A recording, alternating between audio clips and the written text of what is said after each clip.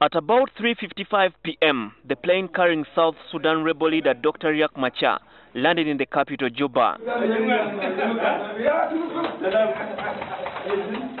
The former vice president turned rebel leader later swore in as the new vice president of the unity government after a week's delay. Dr. Machar's return gives some assurance that the eight-month-old peace deal to end the two and a half years of civil war that has claimed thousands of lives and left many displaced could finally end. As hope springs eternal in Juba, spokesperson of South Sudanese embassy in Uganda, David Amol, believes that Dr. Machar and President Salva Kiir's reconciliation move will lead South Sudan to political and economic recovery. We are relieved from the burdens of uh, violence and we will focus only on development to develop that peace because we need to develop that peace in order for us to develop the nation as large. So we, we are, we, we are quite happy. We are quite happy. I think at the moment in South Sudan they have reached a point that we, in conflict resolution, we call a point of ripeness. A point of ripeness is that point when both sides are very tired and they need a third party to help them. But a political analyst who is also an expert in peace and conflict studies is cautiously optimistic.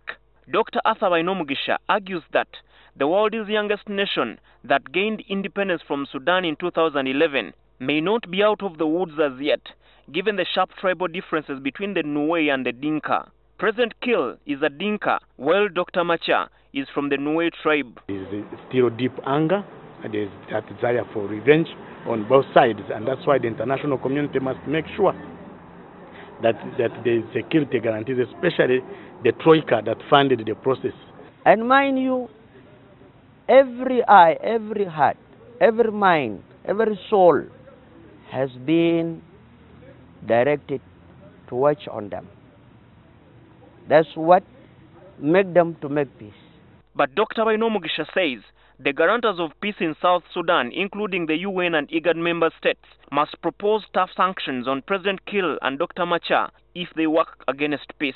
The costs of renegating on these agreements are so high, and I think also the guarantors must make it clear to the to the two top parties in the conflict, the key players, Riek Machar and President Salva Kiir, that renegating on this agreement, there are these sanctions and so uh, so that will motivate them towards implementing the uh, on the agreement and not cheating on the other.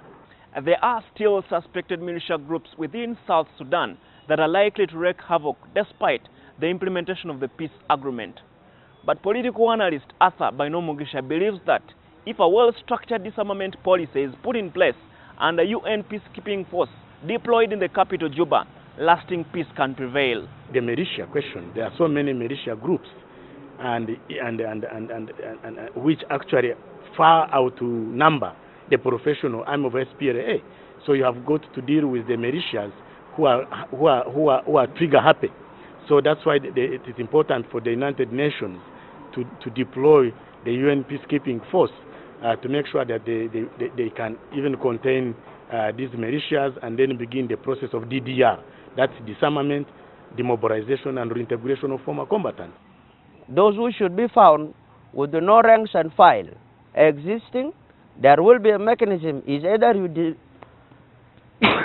you disarm them using uh, the disarmament uh, process, which is a procedural way of taking back the unwanted soldiers for so many reasons. As President kill and Dr. Macha begin implementing the peace deal, the country faces a humanitarian crisis with over 2.5 million people at the verge of losing their lives due to starvation.